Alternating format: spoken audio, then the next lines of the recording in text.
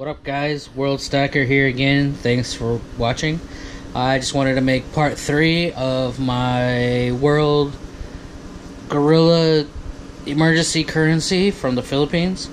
And if you didn't watch the last videos, you should do that. I, do, I get a lot into history, and I, am not going to get as much into history this uh, this time. I want to make a little shorter video, but just to sum it up, during World War II, the Japanese invaded, it, and all these provinces created their own little isolated guerrilla factions to fight the Japanese, and they had to implement their own money, and they printed their own money. So, right here, uh, well, that's what I'm doing in Philippines. I'm collecting and searching for really cool collectible war currency, and that's what I have, and that's the stack that I'm showing you guys. So, right here I have Cebu province and Mindanao. And I wanted to get this out of the way because it's the it's probably the most popular ones, the most the least rare. I mean, there's still rare emergency currency from 1940s, but uh, probably the least rare. Uh, but still cool. Uh, so basically, when the Japanese invaded, they burned all the money, outlawed all the money of the Philippines, and introduced their own. They printed their own Japanese Philippines money, which I made a video about, and it was so worthless. The Fil- the Filipinos called it Mickey Mouse money because you couldn't buy anything.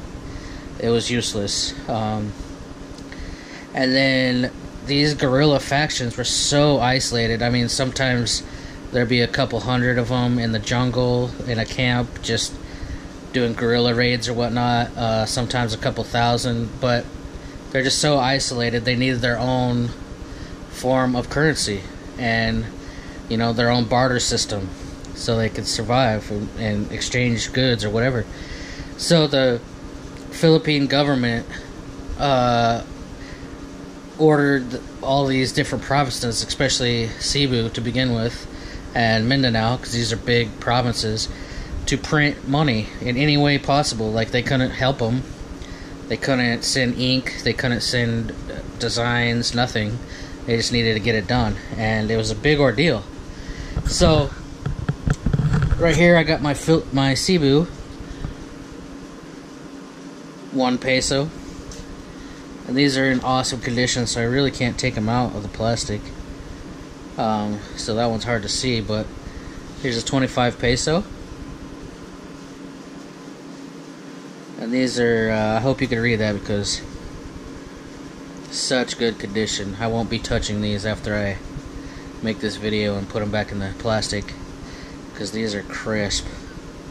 Here's a 5 peso from Cebu. Philippine National Bank was the one uh, put in charge to make these. And this one's a 10 peso. And it's counter stamped, but I can't read it. Deputy Province Treasurer. I,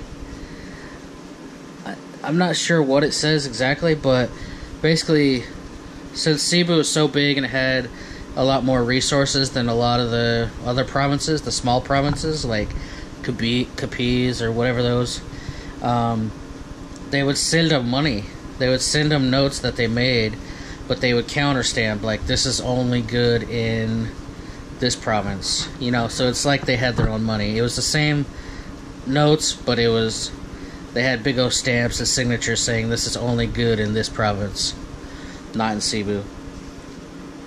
Here's the 20 peso. These are awesome condition. They're not going to be touched again as long as they're in my possession. Yeah, so there here in Cebu, where I'm at, Cebu City, there's a currency museum that specializes in this war notes because the Philippine National Bank, they actually not too long ago, they found in one of their storage rooms or whatever a whole lots of boxes of these. So they decided to make a museum and uh, you know, plus show everybody the records of what was made, what was not, you know, and if you go to the museum, you get really good information. But they have stacks of these, but they're in horrible condition. You know, they're just you could tell they're rotten in their water or whatever.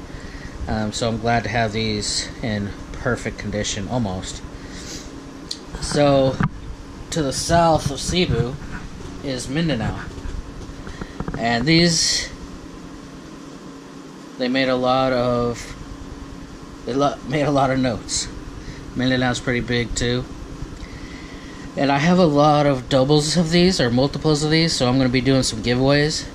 Like I said, these aren't the most rare of the emergency guerrilla notes of the Philippines, but I mean, they're still awesome, you know? So here is a 20 peso. It's the biggest one I have. Not sure if they get bigger.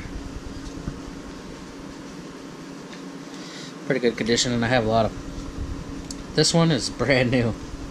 I mean, uncirculated condition. 10 pesos. Pause that if you want to read it. Um, pretty interesting. Um, it basically says that it's the law to to take these that these are legal currency. So if you're a shop or a little store owner you can't refuse these. Um, you know, if somebody wants to buy rice with with this guerrilla currency, you it's law you, it's against the law to refuse. And it also says they're guaranteed by the by the Philippine government that these are backed up and they'll be redeemed at face value or at whatever exchange rate um, they agreed on after the war. So a lot of these say redeemable after emergency, redeemable after the war, that kind of thing.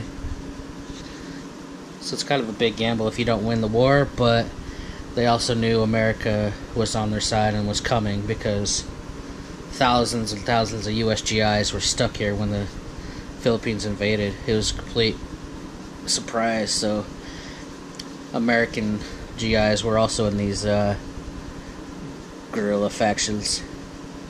They were actually leading some of them. Here's a 50 centavo. This is huge, considering it's only 50 centavo, and they were running out of ink and paper. I've this is pretty huge. Same with this one peso.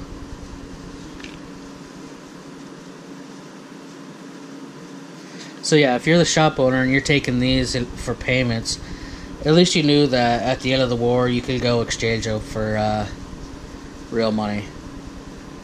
Here's a five centavo. That's where I like it. It's pretty, getting pretty small. So yeah, especially in Cebu and I'm sure Mindanao as well, because they invaded Mindanao I think before they got to Cebu.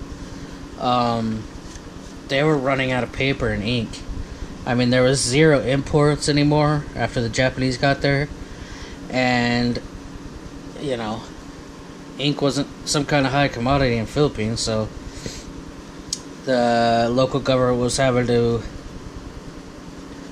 This is tiny. The local government was having to break into shops and things like that just to find ink and paper eventually. Uh, so a lot of these even though they're the same, they're not counterfeits. They're just printed on whatever paper they could find. So I have a lot of old notes. they're coming up in different videos, but they they are printed on whatever they could find. Especially these tiny provinces.